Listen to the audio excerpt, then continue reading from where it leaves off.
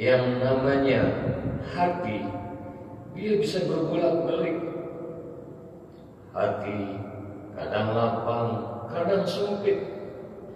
Hati kadang bahagia kadang merasa sulit kadang merasa terhimpit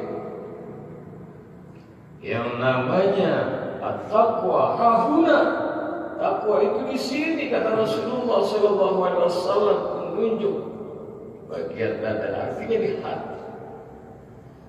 Nah kita tidak tahu kadang malam masih beriman, besok sudah ingkar, besok sudah kufur, kadang pagi siang beriman, bertakwa, malamnya sudah berpaling dari jalan Allah Subhanahu wa taala. Nauzubillah min Karenanya penting kita amalkan sebuah doa agar Allah menetapkan hati kita di jalan agama Allah dalam takwa kepada Allah Subhanahu wa taala.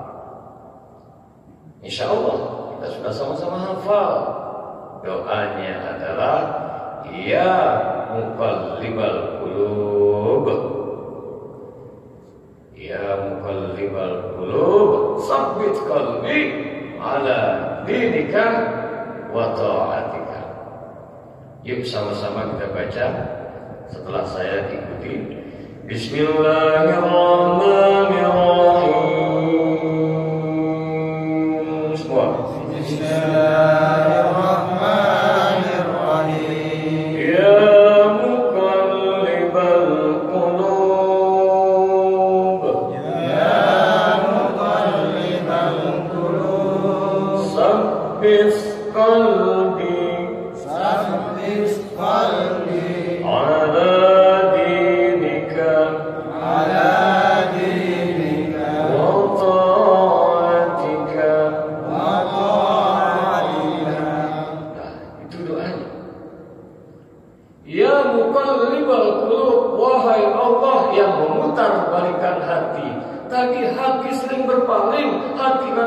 berputar. Pagi nampak bahagia, siang duka karena sesuatu hal.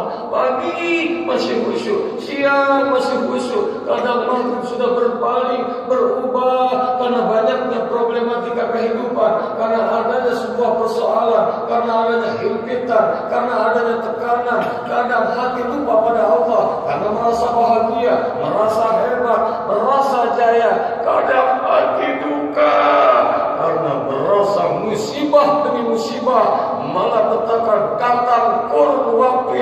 diduga-duga hati bisa berubah-ubah. Walaupun demikian dalam keadaan apa pun yang namanya hidup banyak dinamika aneka ujian apa pun yang kita hadapi kapan pun kita berada di mana pun situasi apa pun Insya Allah yang kita inginkan adalah tetap hati kita dalam agama Allah dan diridai oleh Allah dalam takwa kepada Allah Subhanahu Bacalah doa ini senantiasa. Yuk sama-sama sekali lagi. Ya muqallibal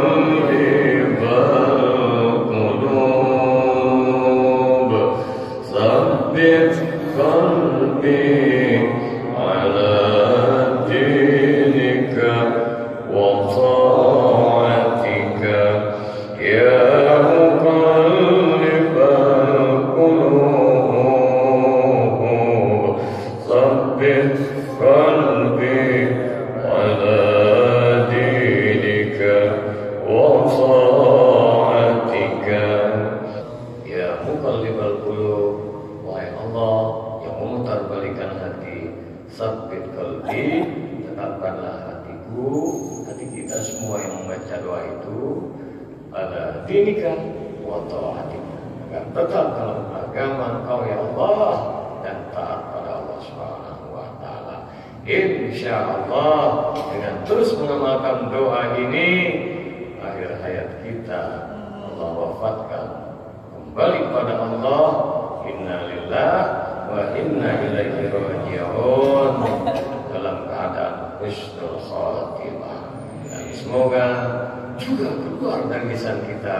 Kalimat akhir ucapan di dunia ini. La ilaha illallah. Muhammadur Rasulullah.